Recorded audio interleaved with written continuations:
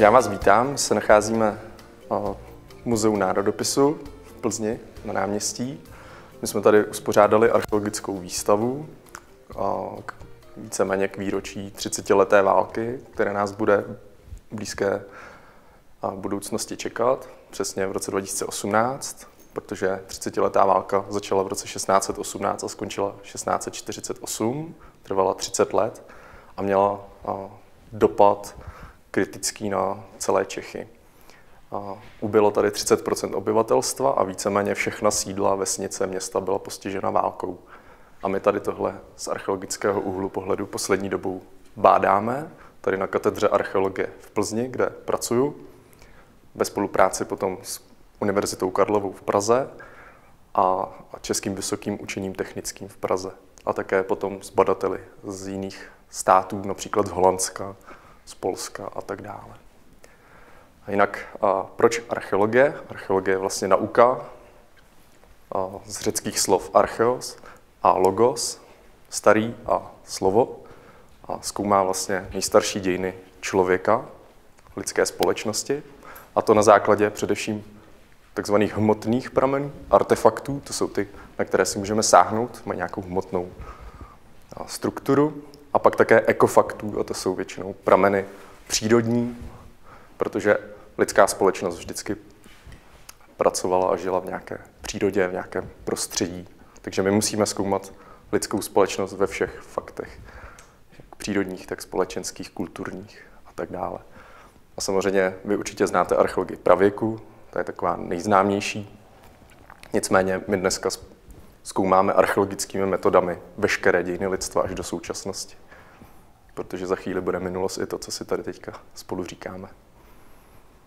A je potřeba to studovat ze všech stránek, nejen z písemných pramenů, což dělá historie, ale i z pramenů ikonografických, to dělá historie umění, to jsou ty obrázky, a pak my kopeme a nacházíme ty nálezy v zemi, různé artefakty. Mm, jaký nejzajímavější nález jste kdy nalezl? Takže úplně nejzajímavější, co jsem asi nalezl, nebo měl jsem tu čest se na tom podílet, tak je v posledních letech nález e, římského města, severně od Říma, 30 km od Říma, jmenuje se Castrum Novum. Je to víceméně město, které bylo založeno ve třetím století před Kristem, pak bylo Germány zničeno v 17. století právě v době renesance, kterou zkoumám úplně nejvíc, tak probíhaly první vykopávky na, tomto, na této lokalitě. Byly zde nalezeny různé sochy antické, které dneska zdobí muzeum ve Vatikáně, takzvané Vatika, takzvaná Vatikánská muzea. A pak bylo opět zapomenuto, kde se toto město nachází. A my jsme ho vlastně v 90. letech objevili a nyní ho systematicky zkoumáme s italskými kolegy a s francouzskými univerzitami. Jak dlouho se jich zajímáte o archeologii? Takže já se o archeologii zajímám de facto od malička, protože mě vždycky zajímali dinosauři, jako asi každé dítě. A de facto až potom v hodinách dějepisu na střední škole jsem si uvědomil, že se zajímám o něco, co není archeologií, protože dinosauři, to je paleontologie, archeologie se zabývá dějinami člověka. Nicméně právě tím, jak jsem stárl, tak jsem se začal více zajímat o, lidi a jejich kulturu. Zabýval jsem se hlavně středověkem, četl jsem různé populární knihy, které jsem si i kupoval.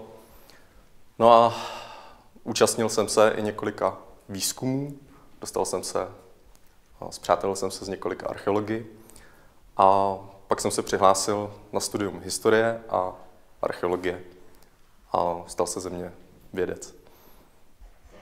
Myslíte si, že jednou nastane doba, kdy už nebude co objevovat?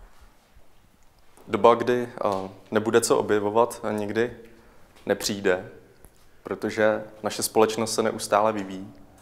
Je nás na planetě čím dál víc a všichni produkujeme nějaký odpad.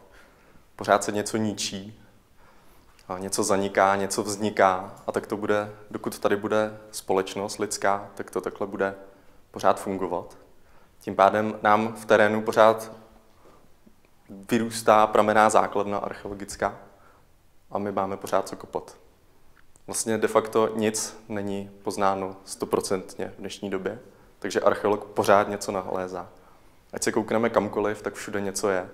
A my, my víme velice málo o těch civilizacích, které zde před námi byly. A víme málo i o té civilizaci, kterou právě prožíváme. Kdyby jsem se já chtěl stát archeologem, co byste mi doporučil, abych dělal? Takže já bych doporučil jednak číst historickou literaturu, bohužel. Takže hodně číst, to dneska mládež moc nedělá. Ale potom a, také asi nejlepší cestou by bylo kontaktovat nějakého archeologa a zkusit si vykopávky jako takové. My třeba děláme praxe právě se studenty na univerzitě, odkrýváme nějaké situace archeologické, například letos jsme odkrývali zaniklý dům z 30 leté války, spálený. Našli jsme tam spoustu keramiky, kachlů, nějaké kovové nálezy, skleněné nálezy. Takže je dobré se účastnit výzkumu, protože člověk vidí, jak to probíhá v terénu, jaké jsou metody, jak chodíme s detektory kovů, s různými složitějšími stroji, s magnetometry, jak děláme odběry například palinologické z rybníků zaniklých. A de facto si člověk může osahat materiál v terénu a přijde na to, jestli ho to baví nebo nebaví, takhle nacházet nějaké poklady